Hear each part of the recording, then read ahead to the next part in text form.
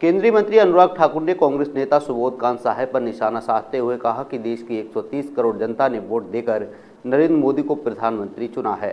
मोदी जी की बढ़ती लोकप्रियता से कांग्रेस बौखलाहट में आकर ऐसे बयानबाजी करती है जो अशोभनीय है। सुबोध कांत साहेब को देश से माफ़ी मांगना चाहिए।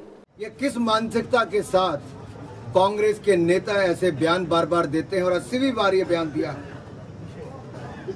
ये ऐसे शब्दों का चयन दुनिया के सर्वाधिक लोकप्रिय नेता के बारे में, कांग्रेस के नेता को देश से माफ़ी मांगनी चाहिए क्योंकि 130 करोड़ भारतीयों ने मोदी जी को पूर्ण बहुमत की सरकार बनाकर दी।